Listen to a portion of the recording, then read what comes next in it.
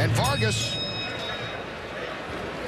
pretty bold step for him. He's taking this on three weeks, last uh, 10, 12 days or so.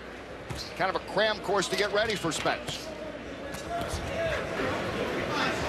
And right now, early on, Samuel Vargas. It's his shot. He's on balance. Feet, And he, he watches. The concentration in Spence. Spence has been knocking people out almost in every fight, 12 of his 15 wins. Vargas, touch your feet, guys. Again, Spence landing the jabs, nice left.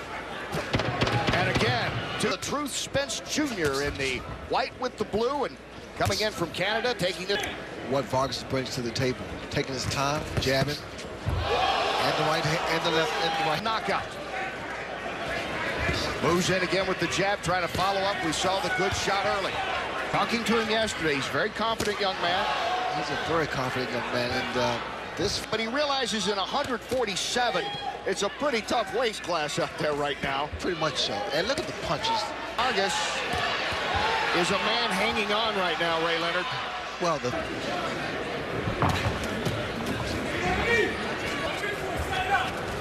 Steve Farhood with us, scoring it out of... the international experience he has, the Olympic experience he has. Look at where he puts. And Vargas, but he has been knocked down in this last round we saw. And Spence Oh, trying to, to knock me down, much less knock me out.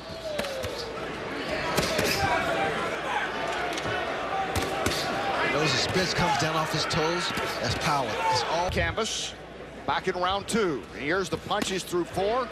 113. with these uh, shots. Let's check in with Chris.